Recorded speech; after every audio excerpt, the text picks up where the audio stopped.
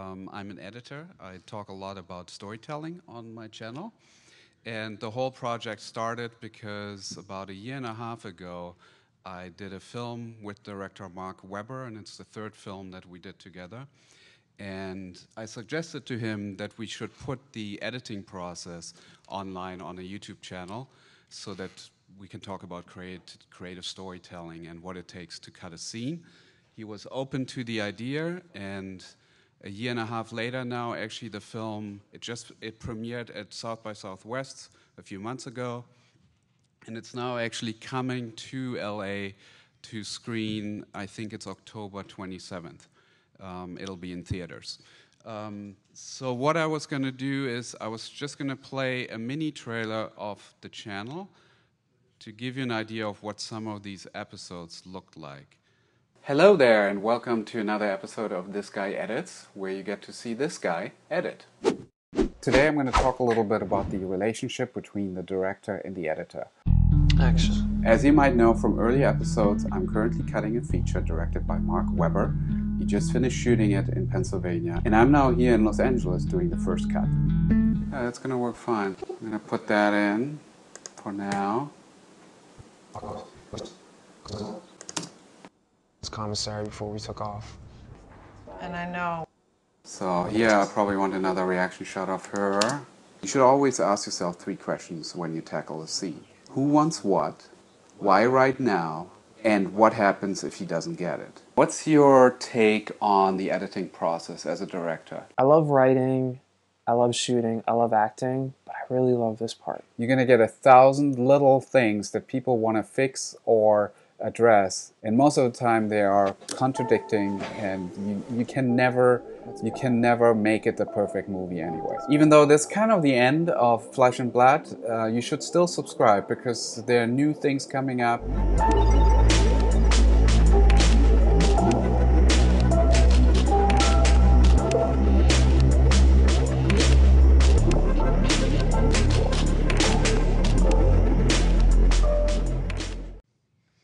Okay, so that gives you a little bit of an idea of what the channel was. Thank you. Um, and what I was going to do today is I wanted to talk a little bit about the importance of editing as part of storytelling, not just for editors. Um, that we're really sort of on the cusp of editing becoming something more than what it is today, I think. And the reason why I think so that that's the case is because of the new medium that we're facing. And I recently had a conversation with one of the reps of the editing softwares. We were having this discussion that I'm sure you've heard before, like, is your software built for pro editors or is it built for everybody? And his answer stumped me because he said, we're actually not really interested in the pro editor or the regular editor. What we're looking for is to build a software for visual artists. And that means that it's not just editing, it's everything. It's really how you tell a story with this new medium. And we're trying to build a platform that will enable you to do everything, which is not just editing, it's doing your website, doing your social media presence, doing your graphic works, everything that you need to do to tell your story, not just the story of your film, but the story of you, you as a brand. And that really sort of inspired this talk that I gave just a few weeks ago, actually, at a, at a film school that I, I was teaching to the students to really make them become aware that yes, you want to be a filmmaker, but you're going out there, and there's so much more opportunities for you out there um, as a storyteller. And editing is a crucial part in the audiovisual medium. So I, I want to encourage the students, and not everybody in, in those classes are editors. I want to encourage them to be editing. And to be editing to tell stories. And that's sort of what the channel is also about. It's, it's not the tech side. I talk very little about how to how to fix a problem or how to use the software. I'm using the software as a tool to tell stories and what are the important parts to make scenes work. Um, I wanted to play uh, another clip. This is an episode that I just recently posted because since since the movie's launch, we're done. The, the channel is evolving, and this is a clip that shows what are three common mistakes that every beginner beginner editors make. And this may be a little like uh, beginner stuff for you, but it's also you should maybe watch it and just look at the storytelling as well, how this is being told. In this tutorial, I'll cover three mistakes that almost all beginner editors make. And I don't mean this. I'm familiar with these mistakes because I was once guilty of making them too. A common mistake when you start editing is cutting too early. It is important to know a fair amount about your available footage before you make your first cut. And that's probably the nicest looking footage we have. If you don't know what you have and what's good, you run the risk of editing yourself into a corner. So find all the gold and uncover it first. Don't just watch the footage. Your brain can't hold onto these fleeting shots unless you work with them. This process is called selecting, and that can be different for every editor. Some take handwritten notes as they watch the footage, others build extensive select reels, and yet there are some that dance to it. I don't know if that works, but maybe I should try that. Whatever your process, important is that you actively work with the material. five moments that I like. Because once you start editing, you want to have all these shots readily available to you so that the magic happens. Rookies usually don't use split edits, also called J and L cuts. Notice how the dialogue starts right as we cut to the actor's face. I was so lonely until now. So do you think I'm that right, lady? Maybe. Do you think I'm the ideal man? I haven't told you the truth, though. I knew it. That makes for a choppy and awkward cut. Now let's take the scene and let the dialogue pre-lap the visual. I am just going to roll back the video. Suddenly, it's as if the cut seems to disappear. Let's see if I'm right. I haven't told you the truth, though. I knew it. I demonstrated J or L cutting in a recent video. The key is to understand the purpose and meaning of the conversation to decide whether a split edit is appropriate. Michael Grabowski tells his students that they are simulating a third person watching a conversation take place. The cut is the person turning their head to see and hear the other person talking. There is another girl. No, that is not true. Sometimes someone starts to talk unexpectedly or quickly, and we hear the voice before we have a chance to turn our head to see the person. That's the split edit. There is another girl. No, that is not true. Perfect. Now this doesn't feel awkward. I wanted to know what you think are some of the most common rookie mistakes. And the number one response having no or very chaotic workflow. That includes file and media management, bin organization, correct sequence and compression settings, outputting, all that mumbo jumbo. I've been editing for a while now and I barely manage to maintain a decent workflow. And these are all the different shoots. For example, I recently ingested my footage and immediately started selecting. Then I realized, oh, this is a multi-camera shoot. Wouldn't it be better to group all the clips together? I basically had to start over and lost a couple of hours of work. So here's my advice. Test your workflow all the way through the chain. Take a couple of shots, import them, sync the audio, test build a multicam, put them in different bins, cut a select reel, use a little storytelling to actually try to cut a mini scene that simulates the real project. Then do color and sound and go all the way to the end product like a Blu-ray or DCP so that you catch any snacks. Along the way, document your workflow. That hour of testing can save you days of work that needs to be redone. Recap. Don't start your edit until you know your footage. Use split edits appropriately to simulate an organic flow of a scene. Know and test your workflow before you get in too deep. Like I said, you guys brought up a whole array of rookie mistakes and I sorted them into five categories. If you would like to go through them, I leave yet another link in the video description. If you like this video, please click like and subscribe. If you didn't like this video, please click like and subscribe. I'll see you on the next one. Thanks for watching.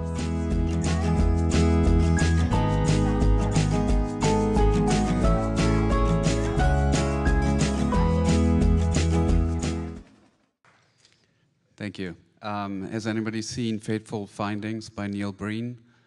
I would highly recommend that film. It's a, it's a film so good you want to hug it.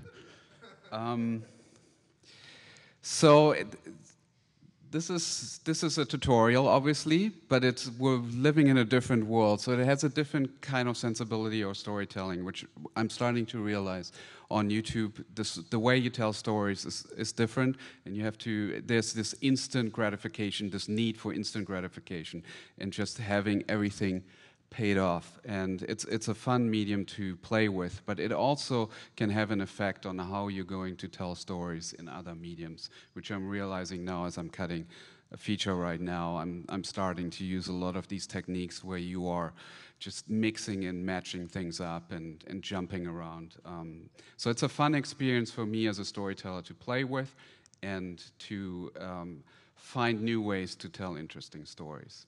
Um, so that's one thing that I wanted to point out that this new medium really is a possibility for you to experiment with storytelling and do a lot of work. And that's really the key thing. Does anybody know who Casey Neistat is?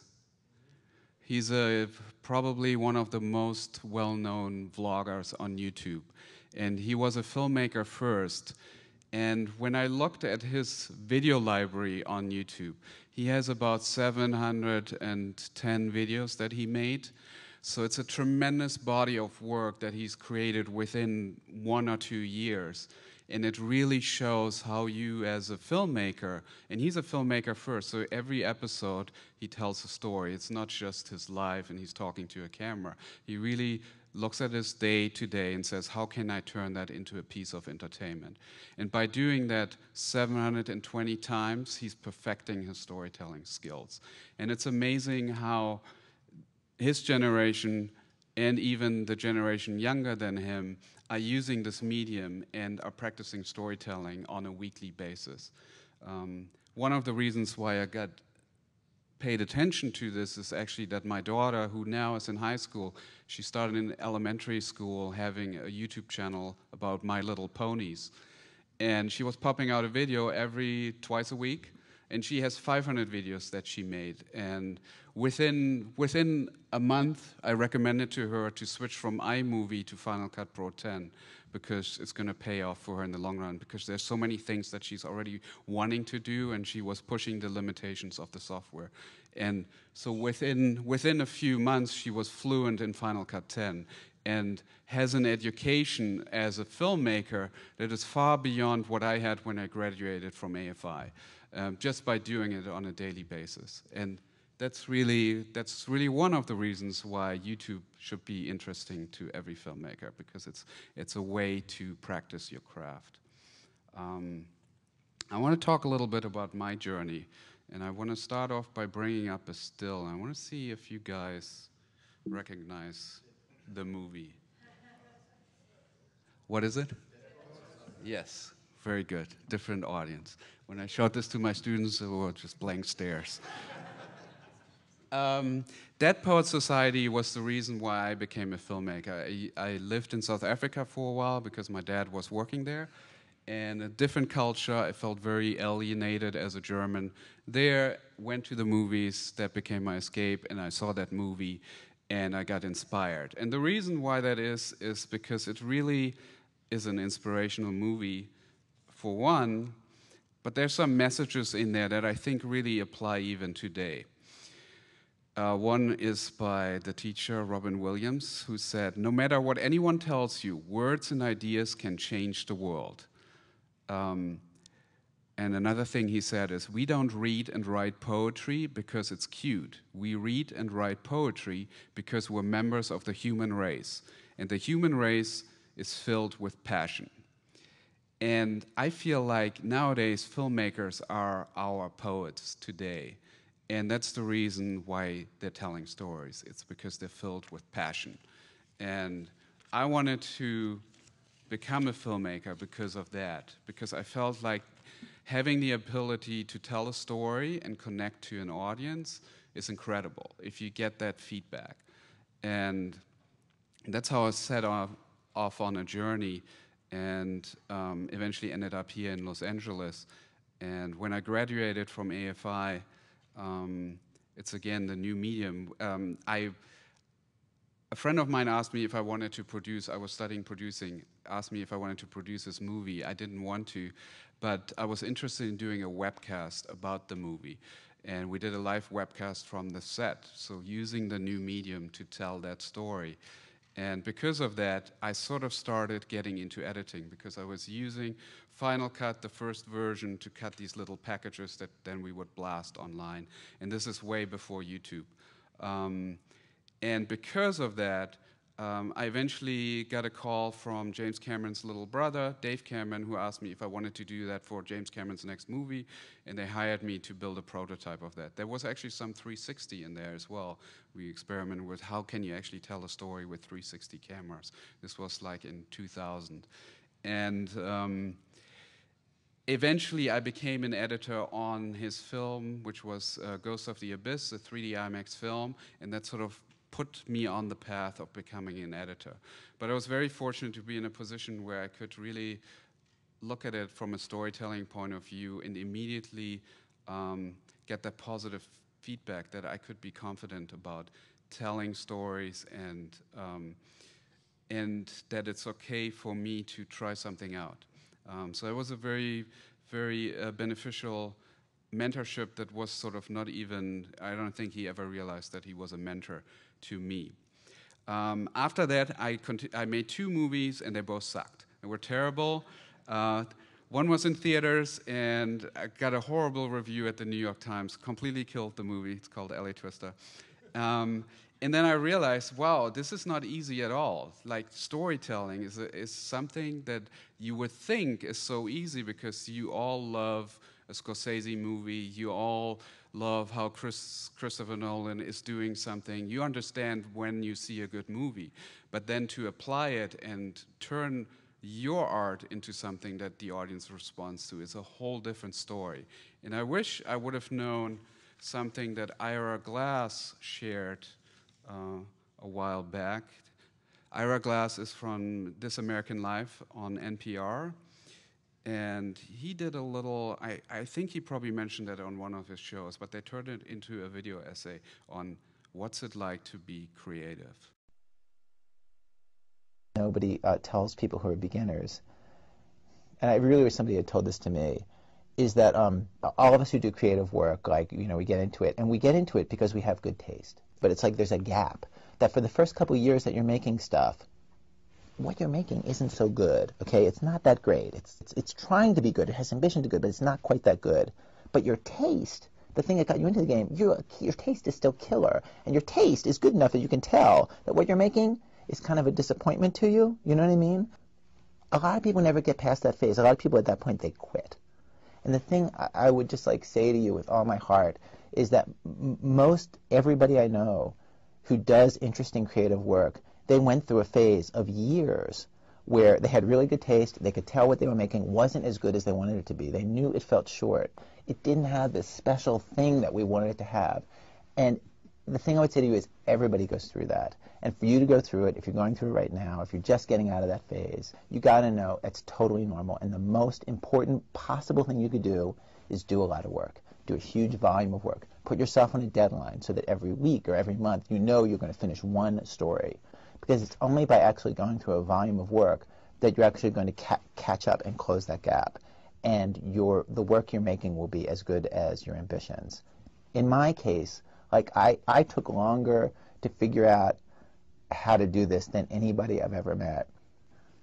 It takes a while. It's going to take you a while. It's normal to take a while, and you just have to fight your way through that. Okay?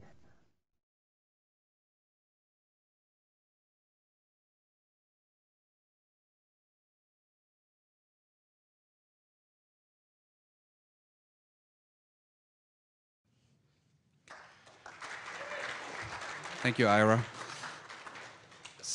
I wish I would have known this when I started. I didn't. Um, so there's this recurring theme that you have to do a lot of work to be able to get your skill level up to what your taste level is.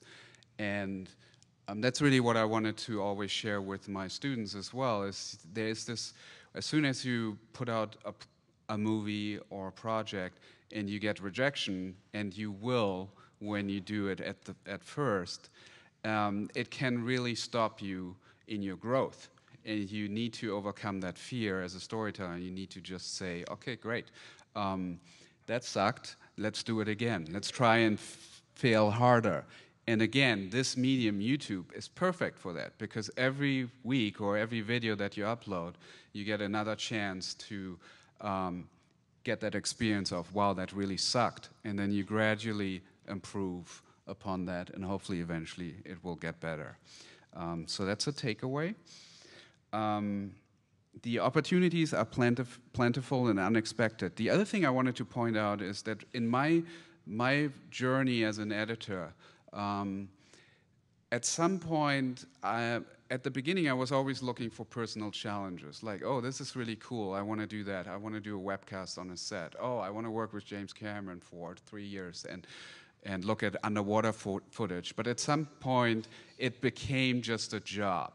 And the rate went higher and higher, but the job became less and less about the art. And so one thing that I had to do is to do an adjustment and really figure out what it is that I'm passionate about and then try to put myself in a position where I can develop stories that I'm passionate about. So I stepped away from that for a while. I was doing a lot of television and then stopped.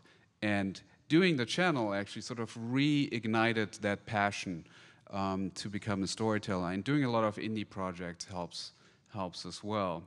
So um, the challenge really is to do stuff that you're really passionate about because that's the only way that you're going to have the energy to keep doing and creating a lot of work. Um, Robert Hardy, a film blogger and independent filmmaker, uh, recently wrote, successful filmmakers know exact, exactly where they want to go in their career. There's no ambiguity, just clarity in which direction they want to travel. They understand that getting ahead requires prioritizing certain types of work over others. And better yet, they know which specific work to prioritize based on their career goals. And most importantly, they're committing to taking consistent, focused action to move themselves in the direction of their goals. And that is something that really took me uh, 10 years or more to really realize is that as a storyteller, as an editor, making those choices are far more important than um, trying to advance your career and moving up to the next pay grade. Um, and it's really about passion. So, it, how much time do I have? Another three minutes? Well, we start three minutes late, so good, six minutes. Six minutes. Okay, great. Then I'm going to end this with a video that I recently did that I'm actually really passionate about. It's the Picasso one. Um, that really just because I heard something that inspired it, and then I'm like, oh, this is a real cool story. I want to I want to talk about this, and um, this is sort of where the channel is uh, today in terms of the kind of programming that I'm really interested and intrigued by. Have you ever thought, no big deal, any child can paint like this? What makes this so special? Pablo Picasso took an axe to conventional art and hacked it into pieces. He reinvented a medium that's been trotting along for 600 years and turned it upside down. In this video I'm going to attempt to look at Picasso's work in a different way. What can we learn from him and apply to filmmaking? This video is brought to you by PremiumBeat.com, exclusive royalty-free music for film and video. Maybe this is what little Pablo's first scribble would have looked like when he was a toddler. We do know that he painted this when he was 8. In his teens, he could pretty much make a carbon copy of any classic. He went to here, then here, already a rock star of his time, and then came this. Something radically new, modern art. Uh, Sven, seriously, how does this relate to filmmaking? Oliver Wendell Holmes Jr. said, I would not give a fig for the simplicity this side of complexity, but I would give my life for the simplicity on the other side of complexity. Picasso got there. Simple, complex, the far end of simplicity. Where it's not about capturing reality, but the essence of everything. We started this conversation anyhow. You might have heard the saying, editing is cutting out the bad parts. Yes, you did. You just don't remember it. That's certainly part of it. But on the far end of simplicity, there is far more to it than that. Do you think we can do this? What a stupid conversation. Stanley, please, I'm trying to get this done. Let's take a closer look at a Picasso. Without knowing anything about the painting, you see multifacets to the face. You see her side, while you also see her straight on. We see this woman hugging this mirror. The right side is a reflection of how she sees herself, and everything is darkened, somewhat sad. She might even be crying. So we see angles that in reality aren't there. He wants to capture an emotion that you can take in even if you know nothing about the painting. Just like the essence of perfume, it's all around you. Tell me why, Graham. Great filmmaking can have that same effect. Sometimes, when you get a really good artist and a compelling story, you can almost achieve that thing that's impossible, which is entering the consciousness of another human being. For me, Picasso is a visual translation of that concept. Why? Because he dared to draw outside the line after mastering to stay within it. Listen, if there's one surefire rule that I have learned in this business is that I don't know anything about human nature. I don't know anything about curiosity. I don't, that's not part of what I do. What I, this is my business. And when I'm, Huh, Sven, how can I apply any of this to my own filmmaking? Well, here's a scene that I cut in a very conventional way, and then I Picassoed it up. So what's today? It's clean outside. Let me check make sure it's clean outside. Yeah, I've been fucked since my early days. I've been stuck in my worldly ways. Propaganda press That means I focus just on the emotional impact of the scene. I'm gonna take all the air out by throwing the edits. I'm basically letting the motion in the shot determine the cut. If you want to watch me actually edit that scene, I leave a link in the video description so that you can watch it on Patreon. But here are three more things you can take away from Picasso. Number one, Picasso created over 43,000 works of art, more than any other artist on record. Success requires action, so make a film, fail, do it again, and fail harder. Number 2. Don't be afraid to embrace your inner child. It keeps you from overthinking things and encourages you to take risks. Number 3. Be open to copy, steal, and remix. But to be truly innovative, you need to put your own spin on things. Picasso knew art. He tore it apart and put it back together in a new way. On the other side of complexity, it may just be as simple as that. I'd like to give a shout out to the sponsor of this video, PremiumBeat.com. Next time you need production music for your project, go pay them a visit. They're a great source of royalty free music. Thanks for watching. So, in conclusion, thank you.